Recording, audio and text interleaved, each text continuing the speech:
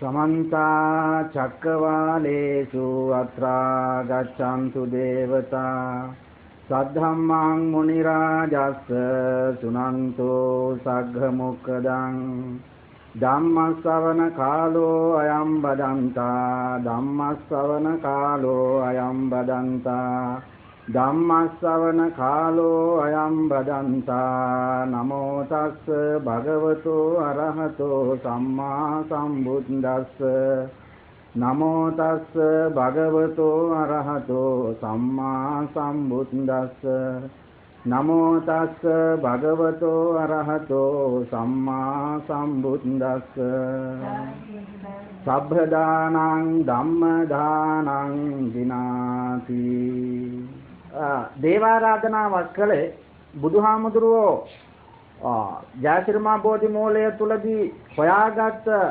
සද්ධර්මය පස්වග මහණුන්ට ඉස්ලාම ඉසිපතනාරාමයේදී දේශනා කරනකොට පස් දෙනා හිටිය මේ ධර්මය අහන් මේ ධර්මය දේශනා කරනකොට පස් දෙනාගෙන් එක්කනයි සෝතාපන්න වුනේ. ඒ වෙලාවේ 18 කෝටියක් දෙවිවරු සෝතාපන්න වෙලා මගඵල ලැබුවයි කියලා තමයි ඔය කතාවල සඳහන් ඒ නිසා මේ අවට ප්‍රදේශයේ දෙවි දේවතාවුන් වහන්සේලා කෝටි ප්‍රකෝටි සංඛ්‍යාවක් මේ මොහොතේදී වැඩ ඉන්න පුළුවන්. ඒ නිසා මේ සද්ධර්මයේ දේශනා කරන වෙලාවේ දෙවි දේවතාවුන් වහන්සේලා මේ අහල පහල ඉන්නවනම් මේ අපේ ධර්ම දේශනාවට සම්බන්ධලා ඒගොල්ලන්ට මගඵල ලබා ගැනීමේ අවස්ථාවන් උදා වෙනවා. ඒ නිසා අපි මේ සමග මේ ධර්ම දේශනාවට ඒ ඉන්න දෙවි දේවතාවුන් වහන්සේලාට සම්බන්ධ වෙන්නයි කියලා සාදුකාරයක් දීලා ආරාධනාවක් කරනවා. එතකොට මුලින්ම අවබෝධ කරගන්න ඕනේ මම මේ දේශනා කරන්න යන මේ ධර්ම දේශනාව මම අද පැය 3ක් විතර කරනවා. දැන් මෙතන පැය එකමාරක් විතර අපි පැයක් විතර කතා කරලා දවල්ට දාන්නේ මොන හරි අරගෙන ආයෙ අපි පැය දෙකක් විතර මේ ධර්ම ශ්‍රවණය කරනවා. මේ ධර්මය ශ්‍රවණය කිරීම තුලින් සද්ධර්මය ශ්‍රවණය කිරීම තුළින් බුදුරජාණන් වහන්සේ අවුරුදු 2600කට ඉස්සෙල්ලා හොයාගත්ත ධර්මය තුල ධර්මය ශ්‍රවණය තුළින් බලාපොරොත්තු වුණ යමක් තියනවා නම් ඒ தත්වයන් කරා යන්න පුළුවන්. ඒ සද්ධර්මය ශ්‍රවණය කිරීමේ ආනිසංස. එතකොට මේ සද්ධර්මය ශ්‍රවණය කරනකොට ඉස්සර වෙලාම Taman අවබෝධයක් ගන්න ඕනේ තමන් මෙතන බෞද්ධයි කියලා දැන් අවුරුදු 30ක් 40ක් 50ක් 60ක් මොනවා හරි ඔය බුද්ධ학ම ගැන දැනගෙන තියනවා නම් ඒව හිතෙන් අයින් කරලා තමයි මේ ධර්ම ශ්‍රවණය කරන්න මෙතන ඉන්න ඕනේ ඔය මුස්ලිම් ආගමිකයෙක් වගේ. මෙතන ඉන්න ඕනේ ක්‍රිස්තියානි භක්තිකයෙක් වගේ. මෙතන ඉන්න ඕනේ වෙනත් අන්‍ය ආගමික කෙනෙක් වගේ බුදුදහමේ පන්සිල් පද පහවත් Taman දන්නේ නැහැයි කියන අවබෝධයෙන් විතරයි උතන ඉඳගෙන ඉන්නෝ. Taman බුදුදහම ගැන කිසි දෙයක් දන්නේ නැහැ. පන්සිල් පද පහවත් දන්නේ නැහැ. කිසි දෙයක් දන්නේ නැහැ. අද තමයි මේ සත්‍යධර්මය මේ ශ්‍රවණය කරන්න කියන තත්වය තුල හිටියොත් Tamanට මම මේ දේශනා කරන්න යන්නේ මොකද්ද කියලා තේරෙනවා. එහෙම උනේ නැත්තම් මගේ මේ ධර්මදේශනාව තුළින් අබමල් රේණුවක්වත් ඔළුවේ රඳා පවතින්නේ නැහැ. මේ බලංග ආනන්දමෛත්‍රී හඳ ජීවිත කතාව ඒක එක තැනක ආනන්ද හාමුදුරුවෝ කියනවා ආනන්ද බලංග ආනන්දමෛත්‍රී හාමුදුරුවෝ මේ ලංකාවට උප්පත්තිය ලැබලා තියෙන දෙවිය ලෝකෙ ඉඳලා. එතකොට වසවර්ති මාර්යා ඒ වෙනකොට මේ සද්ධර්මය වගේම තවත් ආගමක් කණ්ඩායමක් ගෙනල්ලා බිහි කරා. ආනන්ද මෛත්‍රී හඳුරු කියන්නේ හැමෝම දන්නවනේ බලංගොඩ ආනන්ද මෛත්‍රී හඳුරු කිව්වම ලංකාවේ දැනට හිටපු බුද්ධ පුත්‍රයන්ගෙන් බොහොම අති ශ්‍රේෂ්ඨතම යුග පුරුෂයෙක් කියලා තමයි සැලකන්නේ. ඉතින් එතුමා තමයි කියන්නේ මේ කතාව වසවර්ති මාරයා බුදුදහම වගේම ඒ විදිහටම මිනිසුන්ට හඳුනා ගන්න බැරි විදිහට මිනිස්සු හිතන්නේ ඒක බුද්ධ ධර්ම කියලා. නමුත් බුද්ධ ධර්ම නෙමෙයි. ඒ බුද්ධ ධර්ම තමයි බුද්ධ ධර්මය නෙමෙයි මේ බුද්ධ ධර්මය වගේම ඒ සමානෝම යන ආගම පිළිතවන්න වසවර්ති මාරය කණ්ඩායමක් එවලා තියෙනවා. ඊට පස්සේ මේක දැකලා මෛත්‍රී බෝධිසත්වයන්න් වහන්සේ ආනන්ද මෛත්‍රී හාමුදුරුවන්ට ඇතුළු ඒ දිවි ලෝකයේ වෙනකොට හිටපු කට්ටියකට කියලා තියෙනවා මෙන්න ජම්බුද්දීපයේ සද්ධර්මය වගේම සමානව අධර්මයක් ව්‍යාප්තන මේ නිසා අපි ගිහිල්ලා නැවත මේ සද්ධර්මය ප්‍රචාරය කළ යුතු මේකට යන්න කැමති කවුද කියලා අහනකොට ඉතින් කීප දෙනෙකුට කතා කරලා තියෙනවා බලංගොඩ ආනන්ද මෛත්‍රී හාමුදුරුවන්ට මෛත්‍රී බෝධිසත්ව තුන් වතාවක් කතා කරලා මෙයා තුන් වතාවම ප්‍රතික්ෂේප කරා. ඊට පස්සේ තුන් වතාවම ප්‍රතික්ෂේප කරාට පස්සේ අන්තිමට හවල් ඇයි ඔයා යන්නේ නැත්තේ කියලා. කිව්වල් බෑ මට බුදු වෙන්න ඕන.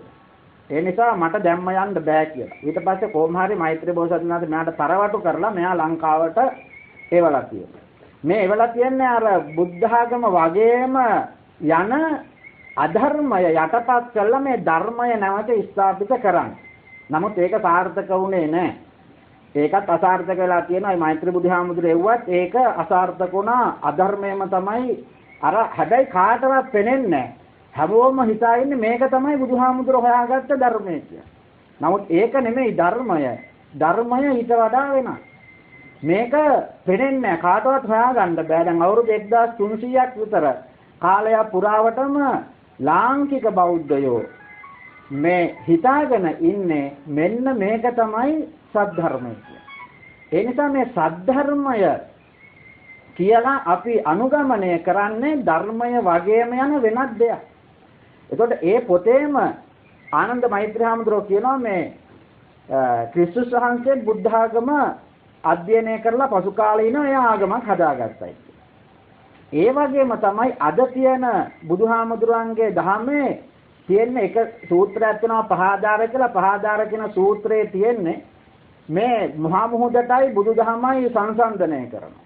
සංසන්දනය කරලා කියනවා මේ කුබන ගංගාවෙන් මහා මුහුදට ජලය ඇවිල්ලා මුහුදු ජලය වන්නාසේම මොන තැනින් මොන ආගමෙන් මොන කුලයෙන් ආවත් පැවිද්දෙක් වුණා නම් මගේ ශාසනයේ ඉන්නේ ශ්‍රමණ ශාක්‍ය පුත්‍රයෝ විතරයි. එක මුහුදයි එක මුහුදු ජලය. එහෙනම් මුහුදු ජලයට අපි වර්ග කරන්නේ ඒ වගේ මේ බුද්ධ ශාසනයේ බුදුහාමුදුරන්ගේ සද්ධර්මය අවබෝධ කරගෙන යම් භික්ෂුවක් ඒ ශාසනය ගත වන්නේ නම් ඔහු වර්ගීකරණයකට ලක් නොවි තිබෙන්නෙකු විය යුතුයි. ඔහුට එක එක ස්ථානාන්තර තියෙන්න ඉඩයක් නැහැ. ඔහුට ඉතින් මේ නිසා මෙන්න මේක අද වෙනකොට පොඩි පොඩි වෙනස්කම් වලට ලක් වෙලා අර කියනා වගේ මේ සද්ධර්මය පේන්නේ නැහැ. මේ නිසා සද්ධර්මය යම් අයෙකුට අවබෝධ වුණා නම් ඔහු මගපරලාභියෙක් බවට පත් වෙනවා. මිනිස්සෙක් ලෙස ඉපදෙන්න මේ සංසාරේ ආත්ම කෝටි ප්‍රකෝටි ගණනක් ආත්මවල ඉපදිලා මැරිලා ඉපදිලා මැරිලා තමයි මේ මනුෂ්‍යාත්ම භාවයක් ලැබෙන්නේ. දුර්ලභ කාරණා කිහිපයක් මේ දුර්ලභ කාරණා වලින් පළවෙනි එක තමයි දුර්ලභත්තම් manussත්තම් කියන එක. manussාත්ම භාවයක් ලබා ගැනීම දුර්ලභ කාර්යය. මේකට උදාහරණයක් කියනවා අර කනකැස් දෑවෙක් වියසුදුරෙන් අහස බලනවා වගේ කියලා. ඒ කතාව හැමෝම දන්නවනේ. එතකොට කනකැස් දෑවෙක් වියසුදුරෙන් අහස බලන එක පහසු වුණත් manussාත්ම භාවයක් ලබා ගන්න එක ඊටත් වැඩියේ දුර්ලභයි කියලා කියනවා. මේ නිසා දැන් ඒ අති දුර්ලභ වූ කාර්ය Taman සපුරලා හිටියේ. Tamanට manussාත්ම භාවයක් ලැබිලා තියෙනවා නම් බුදුහාමුදුරෝ කියතර කන කැස් බෑවා වියසුදුරෙන් අහස බැලුවයි කියන දුර්ලභ කාර්ය Taman සපුරලා හිටියේ. ඒ වගේම තව දුර්ලභ කාර්යයක් බුදුහාම බුද්ධෝත්පාද කාලයක උප්පත්තිය ලබන එක. ඒකත් දුර්ලභ කාර්යය. එතකොට බුද්ධෝත්පාද කාලයක් කියලා කියන්නේ එක්ක බුදුහාමුදුරුවෝ ජීවමානව වැඩ සිටින කාලයක හෝ බුදුදහම තියෙන කාලය. දැන් ඒකත් Taman සපුරලයි තියෙන්නේ. කියපු දුර්ලභ කාර්යයන් දෙකම සපුරලයි තියෙන්නේ. තුන්වෙනි දුර්ලභ කාර්යය කියනවා බුද්ධෝත්පාද කාලයක ඉපදුනත් වැඩක් නැහැ. බුදුදහම තියෙන රටක ප්‍රදේශයක ඉපදුනේ නැත්තම් එහෙනම් ඒ වගේ තැනක ඉපදෙන එකත් දුර්ලභ කාර්යයක්. එතකොට Taman දැන් ඒ තුන්වෙනි දුර්ලභ කාර්යයක් සපුරලා තියෙනවා. තව දුර්ලභ කාර්යයක් කියනවා මනුෂ්‍යාත්භාවයක් ලබාගෙන බුද්ධෝත්පාද කාලයක ඉපදිලා බුදුදහම තියෙන රටක ඉපදිලා ප්‍රදේශයක ඉපදිලා මේ ධර්මය ශ්‍රවණය කරන්න පුළුවන් අංගපසංග සහිතව ඉපදෙන එක තවත් දුර්ලභ කාර්යයක් කියලා කියනවා. ඒ කියන්නේ අංග විකල නොවි ශ්‍රවණාබාධ නොවි ඇස් අන්ධ නොවි අර මානසික අර්බුද නොවි මේ ධර්මය අවබෝධ කරගන්න පුළුවන් ක්ෂණ සම්පත්තියකි. උප්පත්තිය ලැබීම තවත් දුර්ලභ කාර්යයක්. එතකොට ඒ දුර්ලභ කාර්යයන් හතරම සපුරලයි තියෙන්නේ. බුදුහාමුදුරුවෝ කියනවා සද්ධම්ම සවණං පරම දුර්ලභං කියන. අති දුර්ලභම පරම දුර්ලභම කාර්ය තමයි සද්ධම්ම ශ්‍රවණය කියන්නේ. අර කරුණු හතරම සපරුවාට වැඩක් නැහැ. සද්ධර්මය ශ්‍රවණය කරන්න බැරි නම් මේ මනුෂ්‍යාත්ම භාවයක් ලබා ගත්තේකේ වටිනාකමක් නැහැ. මේ නිසා සද්ධර්ම ශ්‍රවණය තමයි පරම දුර්ලභ කාර්යය. මේ තරම් පරම දුර්ලභ එකක් උදේ 6 ඉඳලා රෑ 12 වෙනකම් මාධ්‍ය තුලින් සජ්ජායනා කෙරෙන්න විදිහක් නැහැ. එහෙම වුණා නම් මේක පරම දුර්ලභ වෙන්නේ මේක අති දුර්ලභයි, පරම දුර්ලභයි සද්ධර්ම ශ්‍රවණය. ඒ නිසා දැන් අපි ඔය කරුණු හතරම සපුරලා තියෙනවා නම් අපිට මගඵල ලබා ගන්න මෙතෙක් බැරි වෙලා තියෙන්නේ මේ සද්ධර්ම ශ්‍රවණය කරන්න බැරි වුණ නිසා වෙන්මයි. බුදුහාමුදුරුවෝ බුදුවරයේ මේ සක්වලේ බිහි වෙන්නේ නිවන් දකින්න පින් තියෙන පිරිසක් බිහි වුණ කාලයක තමයි බුදුවරයේ බිහි වෙන්නේ. බුදුවරයේ බිහි වෙන කාලය ඔය එක එක සංඛ්‍යා වලින් කියනවනේ මේ සංඛ්‍යා නම් මම දන්නේ නැහැ හරියටම කොයිතරම් නිවැරදිද කියලා. ඔය සාරා සංඛ්‍යා කල්පලක්ෂයක් හරිය මෙහි ලක්ෂයක් කෝටියක් කිය කියනවා මේවා මේ 1.5ද 7ද එහෙමද දන්නේ නැහැ මොනවා හරි දීර්ඝ කාලයකට පස්සේ තමයි බුදුවරයේ බිහි වෙන්නේ. ඒ බිහි වෙන්නේ පින් තියනවා නම් නිවන් ලබන්න ඒ කාලයට බුදුවරයෙක් බිහි වෙනවා. පින් ලබන්න නිවන් දකින්න පින් නැති මිනිස්සු ඉන්නවා නම් බුදුවරු බිහි වෙන්නේ නැහැ.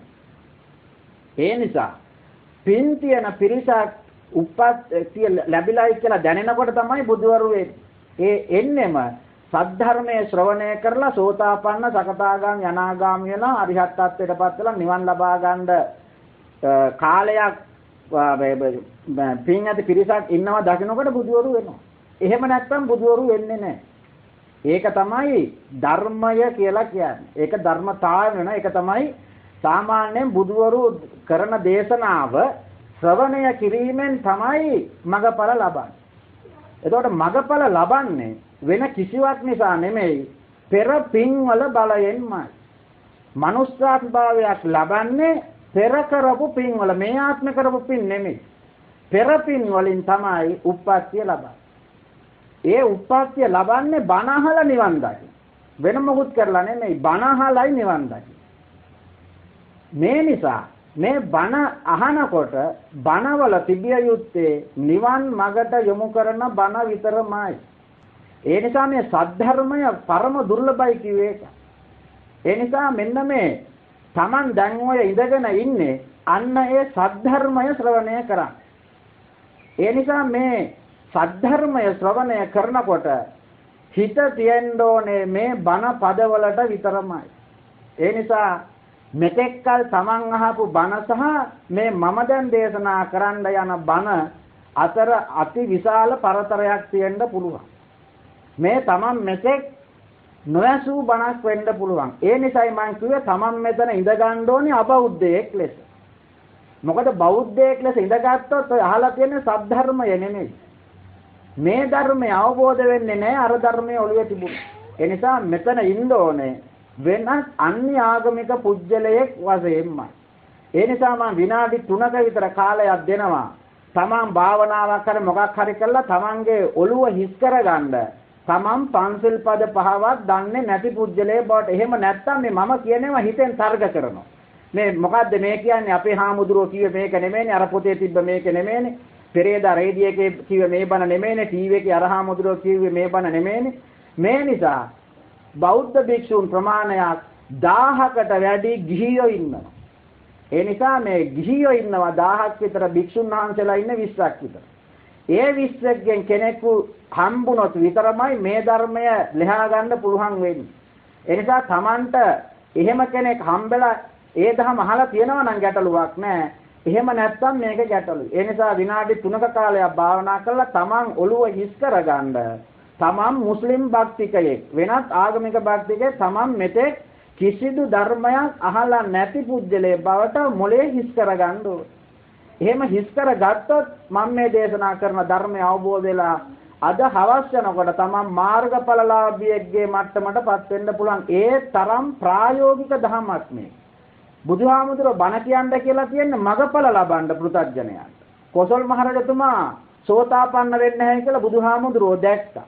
ඒ දැක්ක නිසා කොසල් මහරජතුමාට කිව්වා පෘථග්ජන බණ රට හදන හැටි හීන ගැන අනිත් කිසිම රජ කෙනෙක් එක්ක කිසිම කෙනෙක් එක්ක මේ පෞද්ගලික ඔය පෘථග්ජන දේවල් කතා කරේ නැහැ.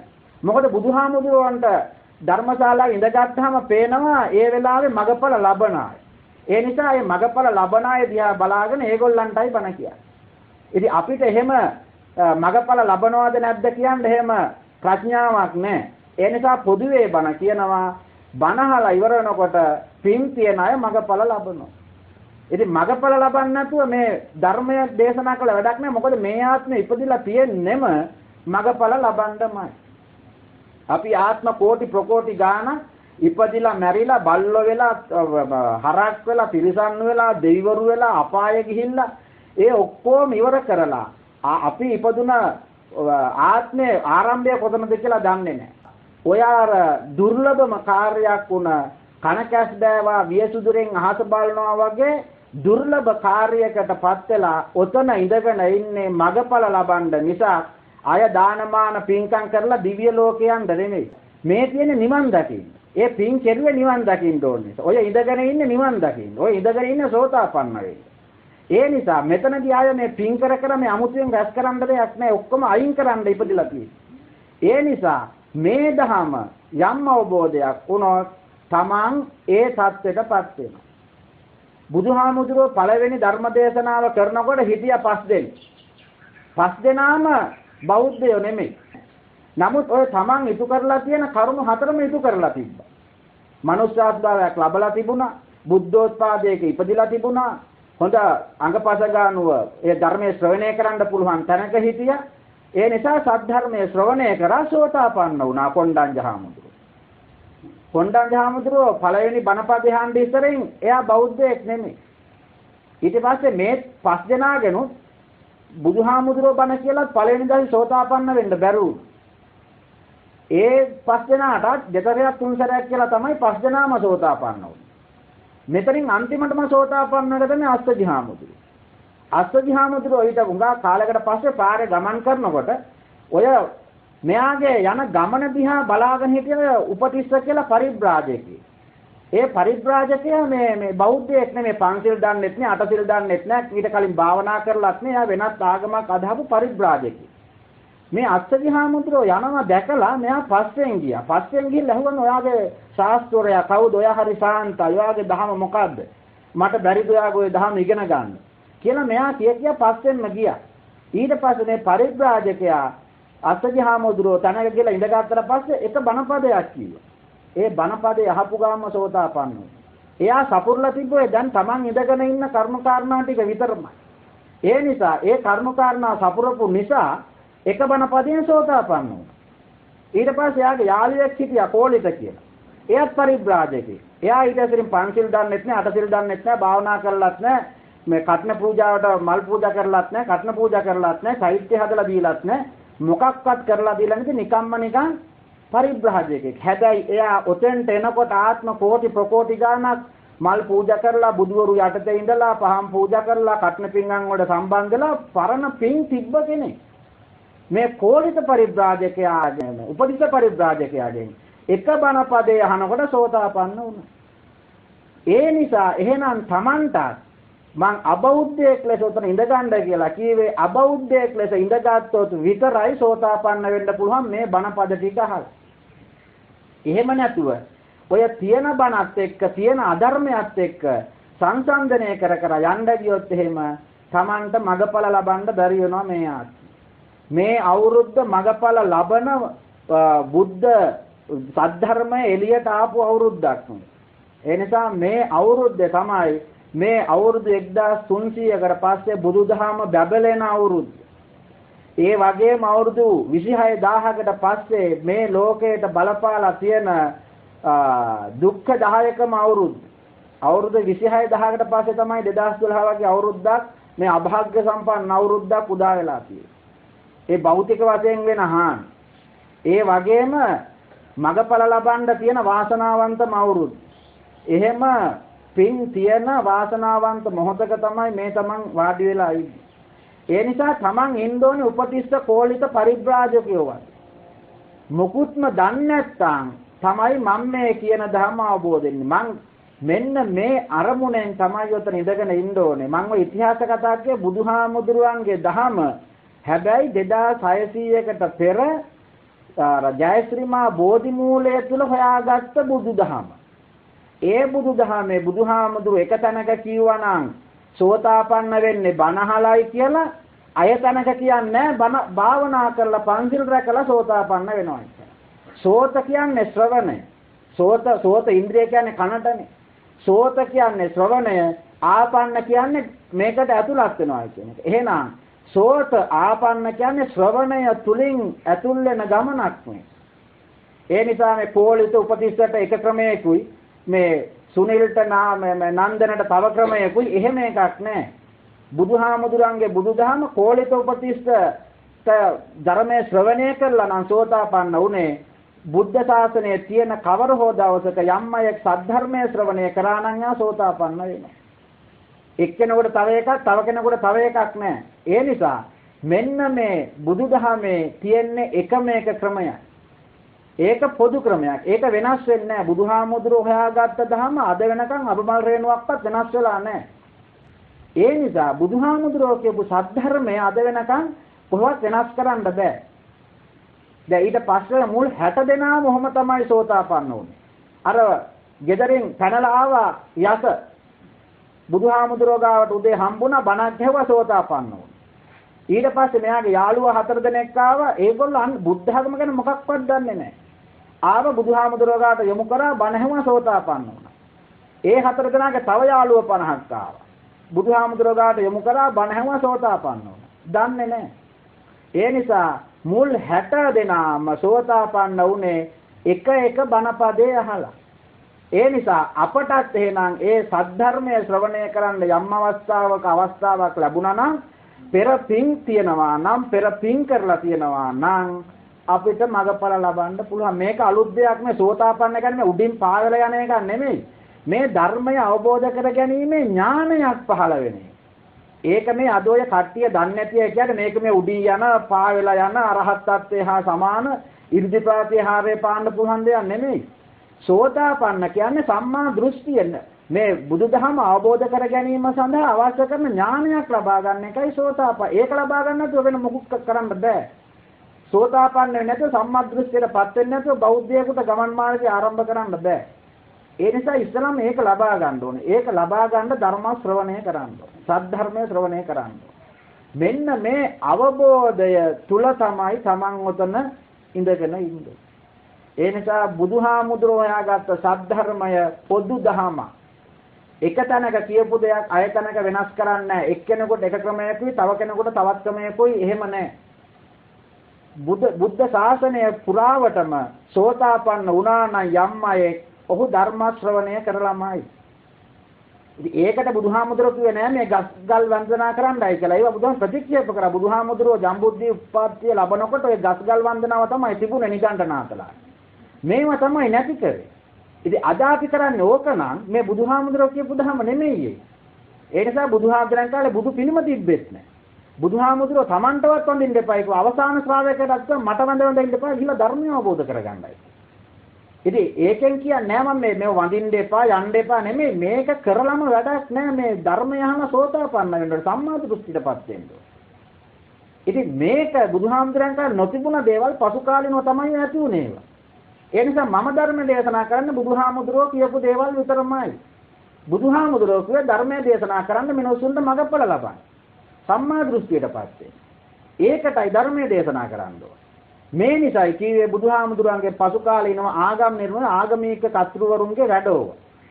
ඒ නිසා මේ සද්ධර්මය නම් බුදුහාමුදුරුවෝ කිව්ව රාග දේශ මොහ අයින් කරලා මේ මේ නිවන් දකින්න මඟ. ඒකට වෙන මුකුත් කරලා වැඩක් නැහැ. ඒකට ජාතක කතා අබමල් රේණුක වටිනාකමක් නැහැ මේ නිවන් දකින්න. ඒ නිසා මේ සද්ධර්මය ශ්‍රවණය කරන්ද මගඵල ලබන්නමයි සද්ධර්මය ශ්‍රවණය කළ යුත්තේ. මේ නිසා මම ඔය මෙතෙක් වෙලා කිව්වේ ඔය Tamange ඔළුවේ ඔය මෙතෙක් කාල ඇතිවලා තියෙන කුණු කන්දරාව අයින් කරන්න මේ කුණු කන්දරාව අයින් කරලා මේ දෙන පිරිසිදු සද්ධර්මයේ ඔළුවට දාගන්න බෑ. ඔය කුණු කන්දල් ටික ඔළුවේ තැම්පත් කරලා තියෙන තාක්. මේ නිසා බුදුහාමුදුරුවෝ කිව්වා ප්‍රඥාව සංසායන් ධම්ම. අර කරුණු හතරමත් එක්ක මේ දහම නම් ප්‍රඥාවන්තයින්ට පමණමයි කියලා තමයි කියන්නේ. ප්‍රඥාවන්තයා කියන්නේ මේ උපාධිය නෙමෙයි. ප්‍රඥාව තියෙන්නේ සංසාරයේ තමන් පුරුදු පුහුණු කරලා තිබුණ ඒ ධම්ම අවබෝධය තමයි ප්‍රඥාව. ඒක තියෙන්න ඕන. එනිසා ප්‍රඥාවන්තයෙකුට විතරමයි නම් මේ කියන ධම්ම අවබෝධ වෙන්නේ. දැන් අපේ අම්මම ඒ කාලේ කියලා තිබ්බනේ ඔය මුරුග සංවරසාවක් එනවා. එක කාලයකට ඒ මුරුග සංවරසාව වහිනවයි කියලා අඬ බෙරයක් වයාගෙන යනවයි කියලා කිව්වා. එතකොට මේ අඬබෙරේ ඇහෙන්නේ පින්වන්තයින්ට විතරයි කියලා තමයි ඒ කාලේ අම්මෝ පොඩි කාලේ ඔය කිව්වේ. ඒ මුරුද සංවර්ෂා වහිනකොට පෞකාරයෝ නැති වෙනවා පින්වන්තයෝ ටික ඉතුරු වෙනවා. අර අඬබෙරේ ඇහෙන්නේ පින්වන්තයි. පෞකාරින්ට මේක ඇහෙන්නේ එතකොට අර ගල් ගුහා වලට එහෙම ගිහිල්ලා මේ පින්වන්තයින්ට හැංගෙන්න පුළුවන් කියලා තමයි කිව්වේ.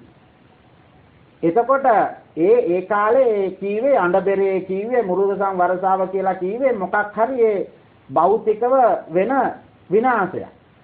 එතකොට මේ අඬබෙරේ කියලා කීවේ මෙන්න මේ පින පහළ වීම සඳහා අවශ්‍ය වන සද්ධර්මය කොහෙන් හරි ශ්‍රවණය වෙන්න තියෙන අවස්ථාව.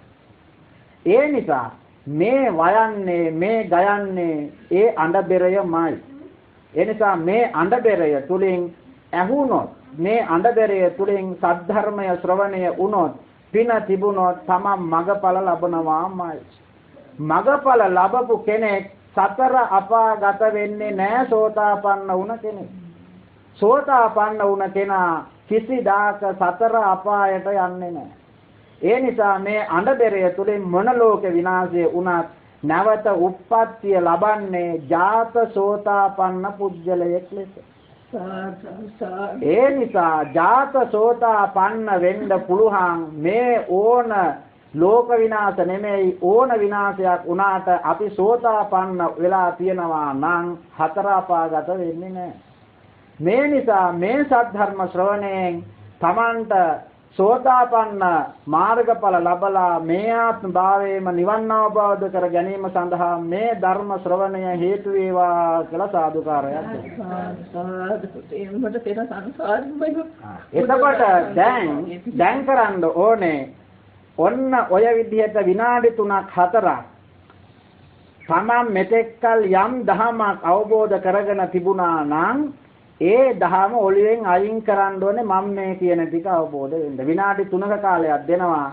ඔළුව හිස් කරගන්න, ඔළුව හිස් කරගෙන මම මේ දේශනා කරන සද්ධර්මය අවබෝධ කරගන්න. ඔය සෙල්ෆෝන් තියනවා නම් පොඩ්ඩක් ඕෆ් කරන්න මේ මේ මේ මං මුලින්ම කිව්වේ මේ ඉඳගෙන ඉන්නේ අහඹු සිදුවීමක් නෙමෙයි. මේ ඉඳගෙන ඉන්නේ පෙර සංසාරේ කෝටි ප්‍රකෝටි ආත්මවල තමන් ඔය කරපු පින් මහිමේ ප්‍රතිඵලයක් ලෙසමයි. ඒ නිසා මේ පින ඔය පැයක් දෙකකට ඔළුව නිදහස් කරගෙන මේ මොකද්ද කියන්නේ කියන එක අවබෝධ කරගන්න. ඒ නිසා මේ අහඹු සිදුවීමක් නෙමෙයි මේ එකතු වෙලා ඉන්නේ. පෙර සංසාරේ බුදවරු දෙතුන් දෙනෙක් යටතේ සමහරලාවට අපි එකට ජීවත් වෙලා ආත්ම කෝටි ප්‍රකෝටි ගානක් අපේ අම්මා වෙලා තාත්තා වෙලා සහෝදර වෙලා තමයි මේ ඉඳගෙන මේ නිසා මේක අහඹු එකක් නෙමෙයි මේ තමන් පෙර සංසාරයේ කරපු විශාල පුණ්‍ය මහිමයක ප්‍රතිඵලයක් ලෙසමයි ඔය ඉඳගෙන ඉන්නේ. මේ නිසා ඔය කැපකිරීම ඔය සෙල්ෆෝන් ඔෆ් කරලා මේ පැය දෙක අහගෙන ඉන්න මොකද්ද මේ මම කියන්නේ කියන්නේ.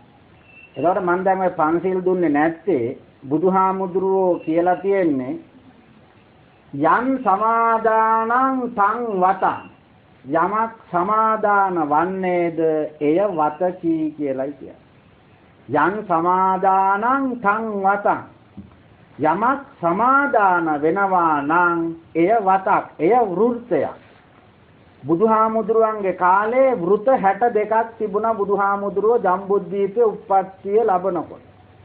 එතකොට මෙන්න මේ ජම්බුද්දීපයේ උප්පත්තිය ලබනකොට ඒ තිබ්බ වෘත ටික තමයි බුදුහාමුදුරුවෝ නැති කරේ ඒ නැති කරලා අලුත් දෙයක් තමයි කියන්නේ යන් සමාදානං තං වතං සංවරට්ඨේන සීල සීලය කියන එක සංවර වීම.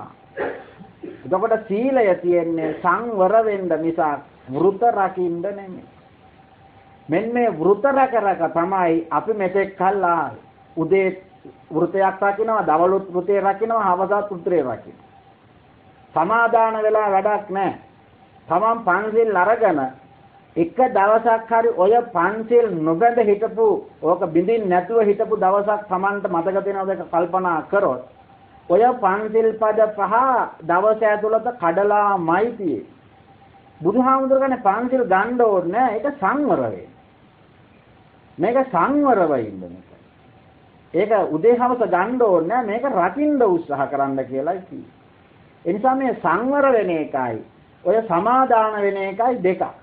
ඒ නිසා සංවර වෙනවා නම් උදේ සවස පන්සිල් සමාදන් වෙන්න ඕනේ ඒ නිසා සංවර සීලයයි වැදගත් ඒ නිසා පන්සිල් පද පහ රකින්නයි උත්සාහ කරන්න ඒ නිසා ඕක උදේත් අරගෙන දවලුත් අරගෙන හවසත් අරගෙන ඒක නිකන් අර අර වෘත වශයෙන් ගත්තල නැහැ තමන් අතින් කැඩෙනවා ඒ නිසා තමන් නිතරම උත්සාහ කළ යුත්තේ මේක සං දඬ ඕනේ පවක් කරනකොට පව කරන්න ඕනේ නැහැ කියලා ඔළුවේ තියාගන්න. ඒ නිසා මේ සීලය තියෙන්න ඕන. නිවන් දකින්න නම් සීලය තියෙන්න ඕන. ඒ නිසා සීලය අපි අවුරුදු කෝටි ප්‍රකෝටි ගාණක් අපි පුරලයි තියෙන්නේ. ඒ නිසා මෙතනදී අමුතුවෙන් අය අමුතුවෙන් මෙතන මේ හැමදාම උදේ හවස මේ සමාදන් වී මෙතන රකින්න දෙයක් නැහැ. ඉතින් මෙන්න මේ විදිහට බුදුහාමුදුරුවන්ගේ සද්ධර්මය දේශනා කරනකොට බුදුහාමුදුරුවෝ සාමාන්‍යයෙන් බුදුහාමුදුරන්ට පේනවා ඒ වෙලාවේ මගපල ලබන්නේ කවුද කියලා. ඒකල ඒගොල්ලන්ට අවශ්‍ය වෙන විදිහට තමයි බුදුහාමුදුරුවෝ ධර්ම දේශනාව සකස් කරගන්නේ. එක වෙලාවක බුදුහාමුදුරුවෝ ගව් පහක් ගිහිල්ලා තියෙනවා පයින් ධර්ම දේශනාවක. දැන් 3400ක් ඇවිල්ලා බලාගෙන ඉන්න බුදුහාමුදුරුවෝ ධර්මයේ දේශනා කරන්නේ නැහැ. දැන් පැයක් එකමාරක් දෙකක් හිටියා ධර්මයේ දේශනා කරන්නේ කට්ටිය ඇවිල්ලා බලාගෙන ඉන්නවා. ඒ ආනන්ද හාමුදුර වටපිටාව බලනකොට දැක්කලු එක මිනිහෙක් හරයකෙක් බඳිනවා ආයේ හරකට වතුර දෙනවා ආයේ තනකොළ කපලා දෙනවා.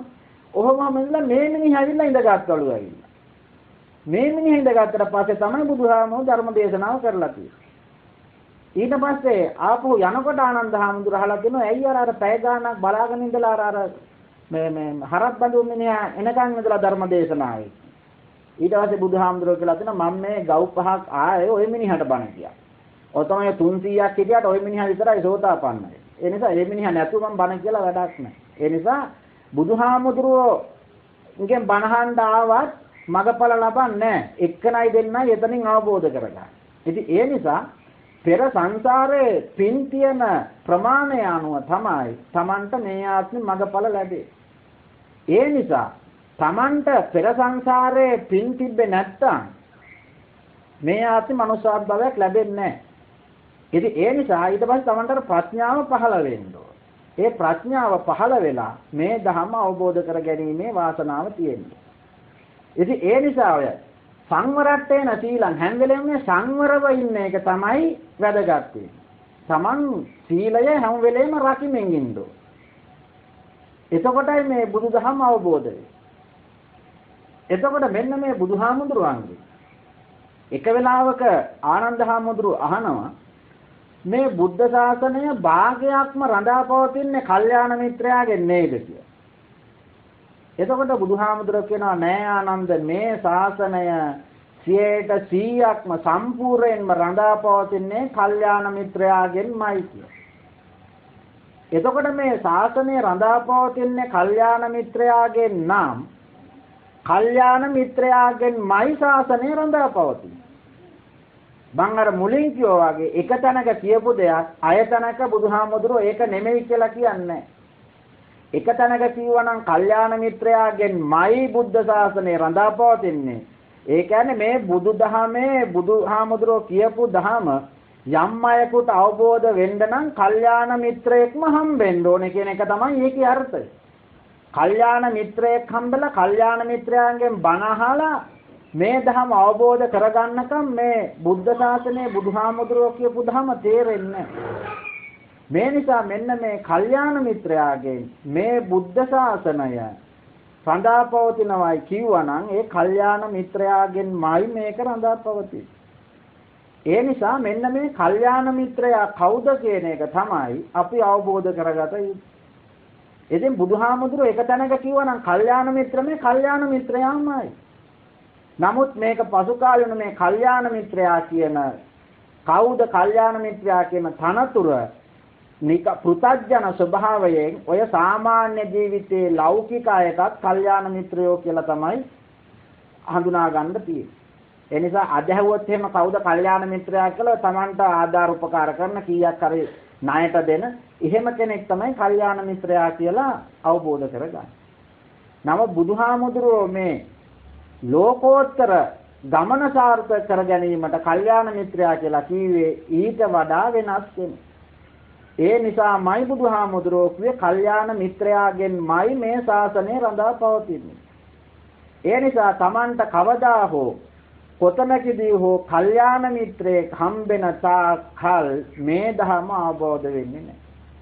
ඒ නිසා තමයි අපි කරන හැම පින්කමක් අවසානයේදී ප්‍රාර්ථනා ගාතාවක් කියන්නේ. මොකද්ද අපි කියන ප්‍රාර්ථනා ගාතාව? ආ මොකද්ද ඒකෙන් කියන්නේ මිනා පුඤ්ඤ කම්මේන මාමේ බාල සමාගමු. නේද? මා කියලා කියන්නේ අයින් කරනවයි කියන එකයි මාගදී භාෂාව. මා කියන්නේ අයින් කරනවා.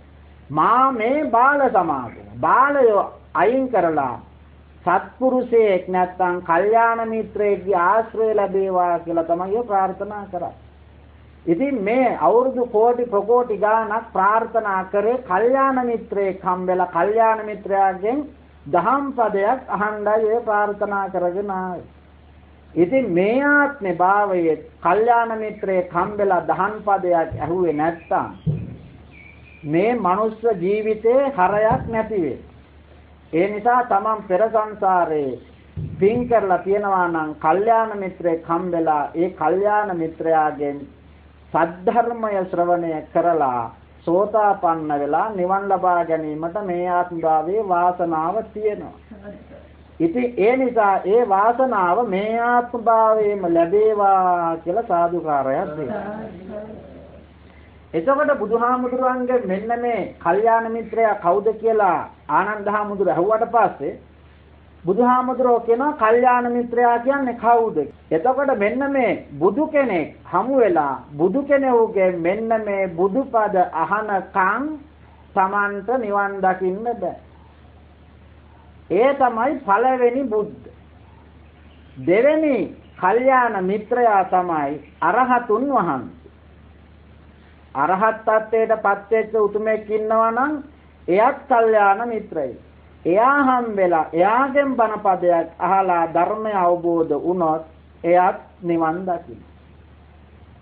තුන්වෙනි එකන තමයි අනාගාමී උතුමන් වහන්සේ.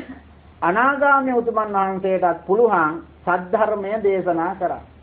යම් අයෙකුට ඒ කල්යාණ මිත්‍රයා හම්බෙලා එයාගෙන් බණපදයක් ඇහුවොත් එයා ධර්මය අවබෝධ කරගත්තොත් එයත් සෝතාපන්නානාගාමී වෙලා එයත් අරිහත් ත්වයට පත් වෙලා නිවන් දකිනවා.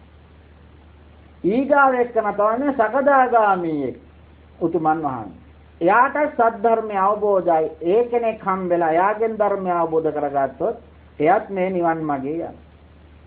ඊට පස්සේ කෙනා තමයි අන්තිම එක්කන තමයි සෝතාපන්න. සෝතාපන්න එක්කනත් කල්යාණ මිත්‍රයෙක් එයාට සද්ධර්මය අවබෝධයි. එයාගෙන් කවුරු හරි කෙනෙක් ධර්මයෙන් අහලා ධර්මයේ ශ්‍රවණය කරොත් එයාත් සෝතාපන්න වෙලා මඟඵල ලබා ගන්න පුළුවන්. ඉතින් මේ නිසා ඔන්න ඔය කල්යාණ මිත්‍රෙන් කෙනෙක් හමු වෙන තාක්කල් බුද්ධ දේශනාවට අනුව නිවන් දැකීමට තියෙන බාධක රාශියක් තියෙනවා. ඒ නිසා බුද්ධ දේශනාවට අනුව කල්යාණ මිත්‍රයෙක් මුණ ගැහි ළමයි මේ නිවන අවබෝධ කරගන්න එතකොට දැන් අලුත්ම අදහසක් තියෙනවා බුදුන් දැක තමයි නිවන් දකින්නේ. බුදුන් දැක නිවන් දකින්නවයි කියන එක පිළිගන්නවද නැද්ද? නන්දන පිළිගන්නවද බුදුන් දැකමයි නිවන් දකින්නේ? බුදුන් දකින්න නැතුව නිවන් දකින්න බැයිද? කොහොමද දකින්නේ? බුදුන් දකින්න නැතුව නිවන් කොහොමද දකින්නේ? සද්ධර්මය අවබෝධ කරගෙන බුදුන් දැකිය යුතුමයි. බුදුන් දකින්න නැතුව නිවන් දකින්න බෑ. නිවන් දකින්න නම් බුදුන් දකින්න. බුදුවරු කී දෙනෙක් ඉන්නවද? බුදුවරු තුන් දෙනා. කවුද බුදුවරු තුන් දෙනා? එක්කෙනෙක් ලෞතුරා බුදුහාමුදුරුවෝ. අනිත් එක්කන පසේ බුදුහාමුදුරුවෝ. නේද? පසේ බුදුවරු ඉන්නවනේ. අනිත් එක්කන අරහත් බුදුන් වහන්සේ. මේ තුන් දෙනා තමයි බුදුවරු තුන් මේ තුන් දෙනාගෙන් කෙනෙක් හම්බෙනකන් අපට නිවන් දකින්න බෑ. ලෞතුරා බුදුහාමුදුරුවෝ එයා බුද්ධමයි. ඊට පස්සේ ඉන්නේ පසේ බුදු. පසේ බුදුවරයාට බණ කියන්න බැහැයි කියනවා. ඇයි මේ පසේ බුදුරට බණ කියන්න බැරි? බුද්ධත්වයේ ලැබු කෙනෙකුට බණ කියන්න බැයි. හිතා ගන්න පුළුවන්ද? බුදුවරයෙකුට පසේත් බුදුනේ. පසේ බුදුවරු බිහි වෙන්නේ අබුද්ධෝත්පාද කාලේ. දැන් මේ කාලේ පසේ බුදුවරු බිහි වෙන්නේ පසේ බුදුවරු බිහි වෙන්නේ බුදුදහම ගලල්ලා ගිය කාලේ. බුදුදහම ගලලියා ගිය කාලෙක බුදුවරයෙක් බිහි වෙනවා. එයා බුදුදහම අවබෝධ කරගන්නවා. එයා බුදු වෙනවා, එයා යනවා. ඇයි එයාට බණ කියන්න බැරි? එයාට බණ කියලා පුළුවන් නෑ. තව ඉන්නා ඒ කාලයට අනුව බුදු කෙනෙක් බිහෙන්න කොච්චර කාලයක් යනවා. එයා ඇයි බණ කියන්නේ නැතුව ආපහු යන්නේ? එයා විතර තනියම බුදු ඒක තමයි අබුද්ධෝත්පාද කාලය කියලා කියන්නේ මිනිසුන් කෝටි ප්‍රකෝටි ගාණක් හිටියත් බුදුදහම අවබෝධ කරගන්න සෝතාපන්න වෙන මිනිස්සු නෑ. මිනිස්සු නැත්තම් එහා ඇයි බණ කියන්නේ? බණ කෝ වැඩක් වෙනවා. බණ කියන්න ඕනේ සෝතාපන්න වෙන්න. එහෙනම් පසේ බුදුවරයා ඉන්න කාලේ පින් නැති මිනිස්සු නම් ඉන්නේ. එයා බණ කියන්නේ මොකටද? රට හදන්න බුදුබණ නැහැනේ. පවුල් හදන්න බුදුබණ නැහැ. ඉගෙන ගන්න හැටි කියලා දෙන්න බුදුබණ නැහැ. බුදුබණ තියෙන්නේ සෝතාපන්න වෙන්න. සෝතාපන්න වෙන්න නම් සෝතාපන්න වෙන පින් තියනා ඉන්න ඕනේ. ඉතින් පින් නැති අය කාලයක නම් අබුද්ධෝත්පාද කාලයක් නම් පසේ බුදුර බණ කියන්නේ කාටද කිව්වට වැඩක් නැති නිසා එයා කියන්නේ එයාට කියන්න බැරි කමන්නේ කියන්නේ කියන්නේ නැත්නම් අහලා සෝතාපන්න වෙන්නේ. එයා බුදු වෙනවා එයා යනවා. එයා බුදු වෙනවා එයා යනවා. ඒ වගේ පසේ බුදුවරු අබුද්ධෝත්පාද කාලවල එනවා යනවා. ඒ නිසා අපිට පසේ බුදුවරයෙක් හම්බෙන්නේ ඇයි? පසේ බුදුර අපිට හම්බෙන්නේ නැත්තේ අපි පින් තියනවා නම් අපි නිවන් දකින්න දෙනවා නම් පසේ බුදුවරයෙක් අපිට හම්බෙන්න ඕනේ ඒ නිසා ලෞතුරා බුදුවරයා හම්බෙන්න ඕනේ. පසේ බුදුවරයා හම්බුනට නෑ නිවන් දකින්න බෑ. ඒ නිසා අරිහත් බුද්ධ හම්බෙන්න ඕනේ අපිට. අරිහත් බුද්ධ හම්බුනොත් තමයි අපි නිවන් දකින්නේ. මේ මාගදී පදවැල් මාගදී භාෂාව දැනට ලෝකේ ප්‍රචලිත භාෂා වලින් සමානම භාෂාව මේ සිංහල භාෂාව විතරමයි. මේ හෙළ භාෂාව තමයි මේ ධහමට සමීපමද භාෂාව. අපි මේ භාෂාවට සමාන නම් බුදුහාමුදුරේ මාගදී භාෂාව ජීවිත මරණ අදත් භාවිතා කරන වචන දෙකක් නෙමෙයි. මේ මේ මාගදී අවුරුදු 2500කට ඉස්සරින් බුදුහාමුදුරෝ කියපු වචන දෙකක් ජීවිත මරණ අනියත අසූචි ඔය අසූචි කියන එක ත්‍රිපිටකේ එහෙමම තියෙනවා අදත් අපි අසූචි කියන වචනේමයි තියෙන්නේ. ඔය මාත් එක්ක ඉන්දියන් හාමුදුර කෙනෙක් ඉන්නවා අවුරුදු 8ක් විතර ලංකාවේ එයාගෙන් මම එහෙම මේ වචන ඉන්දියාවේ තියනවාද කියලා. අනිත්‍ය දුක්ඛ අනාත්මවත් ඉන්දියාවේ භාවිත යන්නේ නැහැ. ඒ එහෙනම් ඉන්දියාවේ භාවිත කරන ඒ මගධ රටේ නම් මේ භාෂාව තියෙන්නේ. මේ මගධ භාෂාව මේ රටේ තිබිලා තියෙන්නේ. ඒ නිසා මේ බුද්ධ කියලා කියන්නේ බුද්ධ. භූ කියන්නේ භව. භව උද්ද කරනවා. භව අයින් කරනවා. රාග දේශ මොහ තමයි භව ඇති කරන්නේ. මේ භව රාග දේශ මොහ අයින් කරනවා උදුරා දානවා කියන්නේ භූ උද්ද බුද්ධ. අරහත් ත්වයටපත් වෙනකොට මේ භූ උද්ද වෙනවා හැමෝම. ඇයි? සෝතාපන්න වෙලා සකදාගාමී වෙලා අනාගාමී වෙන අරිහත් වෙනකොට භූ උද්දයි. භව ටික ගලවලා අයින් කරනවා. භව අයින් කරපුවාම ආය භවයක් නැහැ. භව අයින් කරපු කෙනා තමයි බුද්ධ. ඒ නිසා අපි නිවන් දකින්නේ මොනවා වෙලාද? බුදු වෙලා. අරහත් කියන්නේ අරහත් බුද්ධ. එහෙනම් අරහත් බුද්ධ කියන්නේ බුදු කෙනෙක් වෙලා තමයි හැමෝම ඒ කියන්නේ පස්සේ සම්මා සම්බුද්ධවත් පසේ බුද්ධවත් නෙමෙයි අරහත් බුද්ධ. එනිසා හැමෝම නිවන් දකින්න නම් බුදු වෙන්න. අරහත් බුද්ධ වෙනවා. ඒක තමයි බුදුන් දැක කියලා කියන්නේ. මේක පදපරම ලෙස ගත්තා. දැන් නෑනේ බුද්ධ කියලා කෙනෙක්. ආය බුදුන් වෙන්න මෛත්‍රී බුදුහාමුදුරුවෝ. ඒ නිසා කෝ මෛත්‍රී බුදුහාමුදුරුවෝ දකින්නකන් නිවන් දකින්න බෑ කියලා. මේකයි මං කියන්නේ මෙයා ධම වැහිලා තියෙන්නේ. මෛත්‍රී බුදුහාමුදුරුවෝ නෙමෙයි මම්මයි බුදු වෙන්නේ. මං අරිහත් බුදු වෙලා තමයි නිවන් දකින්නේ. එනිසා හැමෝම බුදු වෙලයි නිවන් දකින්නේ. කියන්නේ අරහත් වෙලා තමයි නිවන් දකින්නේ. ඒකයි බුදුන් දැක කියලා කිව්වේ අරහත් බුදු වෙලා නිවන් දකින්න. නැත්නම් මේ මෛත්‍රී බුදු දැක නෙමෙයි. මෛත්‍රී බුදුහාමුදුරුවෝ දකින්න ඕනේ නැහැ මොනතරම් නිග්‍රහවත්ද මෛත්‍රී බුදුහාමුදුරුවෝ දකින්න නම් මේ බුදුහාමුදුරුවන්ගේ මේ දහමට අපි කරන්නේ.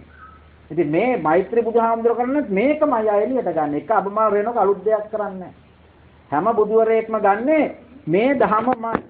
ඉතින් මෙන්න මේ බුදුහාමුදුරුවෝ දේශනා කරලා තියෙන මේ බුද්ධ ධර්මය තුල නිවන් දකින්න ලොකු වැඩ ගොඩක් නැහැ. බුදුහාමුදුරුවන්ගේ නිවන් දකින්න මගට තියෙන්නේ අකුරු 8යි පද 3යි.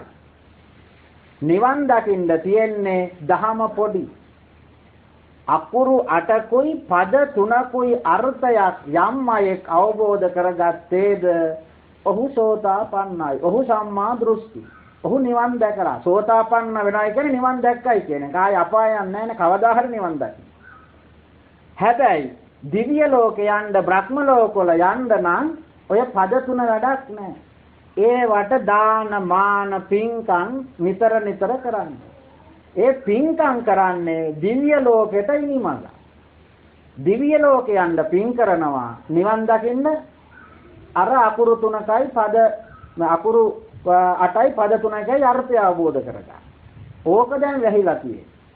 ඕක තමයි අවුරුදු 1300ක් වැහිලා තිබිලා දැන් මේක අවුරුදු 6 7කට පෙර මේක හොයාගත්තා පටිසම්භිදා ඥානය තියෙන ಜಾතිසෝතාපන්න ගිහියෙක් බිහි වෙලා එයා පැවිදි වෙලා අවුරුදු 6කට කලින් එයා මෙන්න මේ අකුරු 8යි පද 3යි හැඟවිච්ච නිවන් දකින දහම හොයාගන්න. මෙයා මෙන්න මේ දහම හොයාගෙන දැන් අවුරුදු 6ක් තිස්සේ මේ ධර්මය දේශනා කරනවා. මේ නිසා මේ මාර්ගඵලලාභී මේ භික්ෂුන් වහන්සේ ගාවට භික්ෂුන් වහන්සේලා යන්නේ නැහැ. මේ භික්ෂුන් වහන්සේ ගාවට දැනට ගිහිල්ලා නැහැ භික්ෂුන් වහන්සේලා 20ක්. ගිහියෝ යනවා දාස ගණනින් යනවා. ඒ ගියපු අයගෙන් තමයි අද මේ මාර්ගඵලලාභී අය මේ රටේ බිහි වෙලා තියෙන්නේ. ඒ නිසා ගිහියෝ ඒ ස්වාමීන් වහන්සේ ගිය සතියේ කිව්වා දැනට ඉන්නවයි කියලා 1000කට වැඩියේ මගපලලාභී. භික්ෂුන් වහන්සේලා නම් 20කටත් අඩුවෙන් කියලා ඒ උන්වහන්සේම කිව්වා. භික්ෂුන් වහන්සේලා ඒ නිසා මේ ධර්මය කාටවත් ජනතාව අතරට යන්නේ නැහැ මේක ගිහියෝ තමයි දැනට කියන්නේ. දැන් මේක උගත් ගිහියෝ අතර මේක තියෙනවා. එක එක්කෙනෙක් එයා ත්‍රිපිටකේ කටපාඩම් එයාට එයා ධර්මය දේශනා කරගෙන නමුත් මේකට විශාල බලපෑමක් තියෙන නිසා දැන් මේ ඔක්කොම ධර්මය දේශනා කරක නවත්තලා තියෙනවා. මොකද මේක දේශනා කරනකොට මේක තමයි අධර්මය. මේක මේ රාජ්‍යමන සංවිධානයෙන් සල්ලි අරගෙන මේක මේ මාෆියා. මෙතන උත්පත්ති ලැබුවා කියලා වෙන කවුරුත් පිළිගන්නේ නැහැ. උන්වහන්සේ ෆොටෝකොපි කරලා මෙතන ෆොටෝකොපියක් කරලා තියෙන්නේ. ඒ උන්වහන්සේට මේ පින තියනවා ඒක කියන්න හරි. මෙතන තමයි බුදුහාමුදුරු ඉපදුන තැන, මෙතන තමයි වැඩ හිටපු තැන, මෙතන තමයි මේ ලෙන තියෙන්නේ, මෙතන ධර්ම දේශනා කරපු තැනක් කියලා කියන වෙන කවුරුත් කියන්නේ. ඉතින් මේක ඇහෙන්නේත් නෑ මොකද බුදුහාමුදුරුවෝ කියන්නේ මේ වැලි ටිකක් අරගෙන නියපොත්තට අරගෙන කියනවා මගේ ධර්මය අවබෝධ කරගන්න මේ මාපට ඇඟිල්ලේ උඩ තියෙන පස් ටික වගේ ප්‍රමාණයක් මේ මහා පොළවේ තියෙන පස් වගේ තමයි අනිත් මිනිස්සු ඒගොල්ලන්ට මේක තේරෙන්නේ නැහැ. දැනට ලංකා දැනට ලෝකයේ ජනගහනය කෝටි 700යි. මේ ඇඟිල්ලේ තියෙන පස් ටිකට සංසන්දනය කරොත් 2000ක් 2500ක් විතර වගේ තමයි අවබෝධ කරගන්නේ. දැනට 10ක් විතර අවබෝධ කරගන්නවා. මොකක් හරි මේ අවුරුද්ද මහා භයංකර විනාශකාරී අවුරුද්දන් නිසා මේ විනාශයට පෙර තව 1000ක් විතර වගේ අවබෝධ කරගන්නවා. අනෙක් ජල්ලන්ට අර අපේ අම්මා කිව්වා වගේ ඇහෙන්නේ නැහැ මේ යඬ බෙරේ යඬ බෙරේ ඇහෙන්නේ නැති නිසා ඒගොල්ලෝ මේක බොරු කිය කිය යනවා. කියලා වෙන රටවල් වල ගිහිල්ලා වෙන තැන් වල ගිහිල්ලා බුදු වුණ තැනයි අරවයි මේවයි වැඳ වැඳ ඉන්නවා. ඒක තමයි ධර්මතාව. මේක ධර්මතාවයෙන්ම වුණ වැඩක් නිසා මේක මේ වෙන කාගවත් බලපෑමක් නිසා වුණ එකක් නෙමෙයි. මේ නිසා මෙන්න මේ ධර්මය අවබෝධ වෙන්නේ මේ වගේ සුළු පිරිසකටමයි. තව දහස් විතර මේ ධර්මය අවබෝධ කරගෙන ওই විදිහට පින තියන අය සෝතාපන්න වෙනවා. මෙන්න මෙච්චරයි බුදුහාමුදුරුවන්ගේ දහම. බුදුහාමුදුරන්ගේ දහම මේ තියෙන්නේ ඔය පද තුන විතරමයි. මේ පද තුන තමයි තේරුම් ගන්න බැරි. මේ පද තුන තේරුම් ගත්ත කෙනා සම්මා දෘෂ්ටියටපත් සම්මා දෘෂ්ටියටපත් උනායි කියලා කියන්නේ සෝතාපන්න වෙනවා.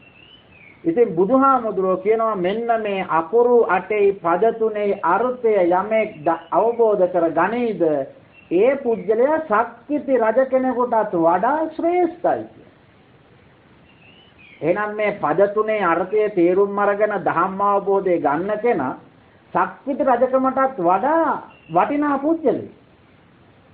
එහෙනම් මේ ශක්තිත රජකමටත් වඩා වටිනා දේ මේ පද තුන තේරෙන්නේ නැති එක සරල නෑ. මේ පද තුන තේරෙන්න පෙර සංසාරේ පින් කරලා තියෙනවා.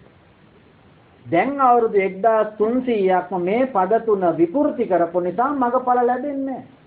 අවසාන ශූපිලිසින්දියා මහරහතන් වහන්සේ මලියදේ මහරහතන් වහන්සේ කියලා නේ කියන්නේ. එයාගෙන් ආපු අය තව අවුරුදු 100ක් 200ක් යන්න ඇති ඊට පස්සේ මගපලලාභින් නැති වුණා. මගපලලාභින් ලංකාවේ නැතිව මේ නිසා මේ මගපල ලබන්න නැතුව නිවන් දකින්න බෑ. මගපල කියන එක මේ බහුව්‍ය දෙයක් නෙමෙයි. මේක හරි සරල දෙයක්. පෙර සංසාරේ පින් කරලා තියෙනවා නම් මේක ලැබෙනවා. මේක ලැබෙන්න නම් ඔන්න ඔය පද තුනේ අර්ථය දැනගන්න. ඉතින් මේක පැහැදිලි කරන්න පුළුවන් වෙන්නේ අර කියපු කල්යාණ මිත්‍රයෙකුට විතරමයි. ඒ අවබෝධ කරගත්ත කෙනෙකුට තව කෙනෙකුට කියලා. එයා තව කෙනෙකුට, එයා තව කෙනෙකුට, එයා තව කෙනෙකුට. මේ නිසා කල්යාණ මිත්‍රයෙක්ගෙන් තව කල්යාණ මිත්‍රයෙකුට යෑම නිසා තමයි නිවන් දකින්නේ. ත්‍රිපිටකයේ කොහේවත් කල්යාණ මිත්‍රයෙක්ගෙන් හම්බෙන්නේ නැතුව මගඵල ලැබිලා නිවන් දැක්ක කෙනෙක් නැහැ. මුළු බුද්ධ ශාසනයේ පුරාතම ත්‍රිපිටකේ පුරාවටම තියෙන්නේ මගපලලාභියෙක් ඉස්සරහට ගිහිල්ලා බණහලා තමයි නිවන් දැකලා තියෙන්නේ. සාරිපුත්ත හාමුදුරුවෝට එක්තරා භික්ෂුවක් එනවා. ඇවිල්ලා මට භාවනා කරන්න කර්මස්ථානයක් ඉල්ලනවා. ඉල්ලනකොට සාරිපුත්ත හාමුදුරුවෝ අහනවා ඔයා පරතෝഘോഷක ප්‍රත්‍ය ලබලාද නැහැයි කියනවා. එහෙනම් ගිහිල්ලා පරතෝഘോഷක ප්‍රත්‍ය ලබාගෙන ඉන්න. පරතෝഘോഷක ප්‍රත්‍ය කියලා කියන්නේ කල්යාණ මිත්‍රයන්ගෙන් බණ අහලා ලබන ඥානය ලබන ප්‍රත්‍ය. ඒ නිසා කල්යාණ මිත්‍රයෙක් ඉස්සරහට වෙලා බණ හැවුවත් විතරයි මේ ප්‍රත්‍ය ලැබෙන්නේ. සෝතාපන්න. බුදුහාමුදුර ධර්ම දේශනා කරන්න කියන්නේ සෝතාපන්න වෙන්න පෘථජ්ජය. ඉතින් පෘථජ්ජනේ සෝතාපන්න කරන්න නම් පරතෝഘോഷක ප්‍රත්‍ය දෙන්න පුළුවන් හැකියාවක් තියෙන කෙනෙක් එහෙම දෙන්න පුළුවන් වෙන්නේ කල්යාණ මිත්‍රයෙකුට විතරමයි. කල්යාණ මිත්‍රයා කියන්නේ සෝතාපන්න වෙන බණ විතරයි. මේ හරි ප්‍රායෝගිකයි. මේක අවබෝධ වෙන ප්‍රශ්නාවක් තියෙනවා. මේක අවබෝධ වෙන්න පෙර සංසාරේ ආත්ම කෝටි ප්‍රකෝටි ගණන් පින් කරලා තියෙනවා. මේ ඔය ඔළුවේ තියෙන ඔය ගොම කොට අයින් කරන්නේ නැතුව මම මේ පද තුනේ අර්ථය කියලා දුන්නාට වැටහෙන්නේ. ඒ නිසා ඔය විදිහට මොලේ පිරිසිදු කරගෙන තමයි මේ පද තුනේ අර්ථය ඔළුවට දමා යම් අයෙක් මේ පද තුන ඔළුවට දමා ගත්තා නම් ඔහු එම මොහොතේම සෝතාපන්න වෙනවා පෙර සංසාරේ පින තියෙනවා. ඒකයි පොණ්ණංජ හාමුදුරුව එවලම සෝතාපන්න ඕනේ. එයා පෙර පින් කරලා තියෙනවා. අනිත් ජොල්ල රෑ එළි වෙනකම් මේක විග්‍රහ කරගෙන විග්‍රහ කරගෙන විග්‍රහ කරලා උදේ වෙනකොට ඔන්න හරි. සෝතාපන්න බුදුහාමුදුරුව පරතෝගෝසක ප්‍රත්‍ය දුන්නට යෝනිසෝ මනසිකාරය කරන්න ඕනේ තමයි. ඊට පස්සේ තමන්ගේ කොටස තියෙනවා. තමන්ගේ කොටස කරගන්න තමන්ට ප්‍රඥාව තියෙනවා. ඉතින් ප්‍රඥාව තියෙන කෙනා ඒක මොහොතේම දැන් බිම්බිසාර රජුත් එක්ක ආපු 11000 දසෝ දෙක සැරේ සෝතාපන්න වුණායි කියනවා. එයා ඒ ඔක්කොම පින් කරපුවා. ඉතින් කොසල් රජුන්ට කොච්චර බණ කිව්වද සෝතාපන්න උනේ නැහැ නේ පෙර පින්න. එයාට තව සංසාරේ යන්න තියෙනවා. ඒ නිසා මේ සෝතාපන්න වුණ කෙනා ඒ ළමයි හදන්න පුළුවන්. දැන් විසාකා කවුද ළමයි හදුවනේ සෝතාපන්නයි. තව එක්කෙනෙක් සෝතාපන්න වෙලා මේ මේ බුදුහාමුදුරන්ගේ කාශ්‍යප ඒ කියන්නේ අවුරුදු 60ක් විතර මේ අරක්කු බිහිදී. ඉඳලා අන්තිම මැරෙන්න කිව්වලා බුදුහාමුදුර ගාවට. මේ බණහලා සෝතාපන්නලා දිව්‍ය ලෝකෙ. ඉතින් එහෙම එකක් මේ සෝතාපන්න වුණ අයට ළමයි හදන්න පුළුවන්, වෙන වැඩ කරන්න පුළුවන්, සල්ලි හොයන්න පුළුවන්. මේ මේ එහෙම එකක් මේ සෝතාපන්න කෙනෙක්. ඒක මේ මේ 아무ත දෙයක් නෙමෙයි. ඒ නිසා බුදුහාමුදුරුවෝ කියන්නේ මේ සෝතාපන්න වුණ කෙනා අයින් කරන්න තියෙන්නේ මුහුදට අඟිල්ල දාලා කියනවා මේ ඇඟිල්ලේ තියෙන වතුර වගේ තමයි සෝතාපන්න වෙන කෙනෙකුට අයින් කරන්න තියෙන්නේ. මෙයා සංසාරේ මේ මහමූද ජලය වගේ අයින් කරලා ඉවරයි. ඒ අයින් කරලා ඉවර වෙන මනුෂ්‍යාත්ම භාවයක් ලැබෙන්නේ මේ ඇඟිල්ලෙන් පිහලත් මේක ඉවර කරන්න පුළුවන්. පද තුන අවබෝධ කරගන්න. ඒ නිසා මේ පද තුන අද දවසේම යම් කෙනෙක් අවබෝධ කරගත්තා නම් අදම සෝතාපන්න. මේක මේ 아무තු විජ්ජුම්බරයක් නෙමෙයි. මම මේක මේ කියන්නේ මේ ඥාති නිසයි මේ කියන්නේ මේ පන්සල් වල තැන් තැන් වල වෙන අයට ගිහිල්ලා මේවා මෙහෙම පැහැදිලි කරන්නේ මේක පිළිගන්න. මේක අවබෝධ කරගන්න. ඉතින් මේක හරි ගැඹුරු සරල දහම. ගැඹුරුයි සරල. ඒ නිසා මේක අවබෝධ කර ගැනීමේ වාසනාව අද දිනය තුලේම ලබා ගැනීමට හේතු වාසනා වේවා කියලා සාදුකාරය